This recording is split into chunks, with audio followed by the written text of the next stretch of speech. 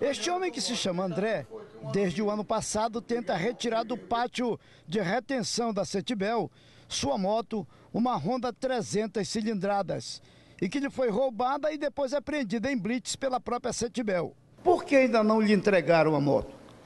Alego que os documentos encaminhados pela Delegacia de Furto de Veículo não são suficientes. Ainda não deram baixa no sistema, por isso não entregam a moto de jeito nenhum. Mesmo com comprovante de laudos, perícias técnicas, científicas da moto, eles não entregam o veículo. Todo o tempo é a mesma coisa, uma, existe uma dificuldade dentro do departamento deles, que não consegue me devolver o meu veículo. Tudo conforme a lei, todos os tudo que eu fiz foi conforme a lei. As ocorrências, perícia, solicitações, tudo com documento. Comprovado que a moto é a sua. Está comprovado que a moto é minha. O delegado Goldenberg Souza, da DFVR, entretanto, afirma que a moto será entregue ainda hoje. As providências estão sendo tomadas. Já foi é, confirmado através da perícia que a moto é realmente a dele. Agora nós vamos dar baixa, já foi autorizada a baixa.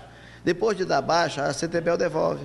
Quando for conferir no sistema que não existe mais o impedimento, ela devolve, sem problema. Que ele acaba de chegar de lá e não devolveram porque ainda está no sistema. É, o dossiê dele foi completo hoje, foi completado hoje. Então agora foi autorizada a baixa no sistema. A afirmação do delegado de que a motocicleta poderá ser entregue hoje acaba o calvário da vítima.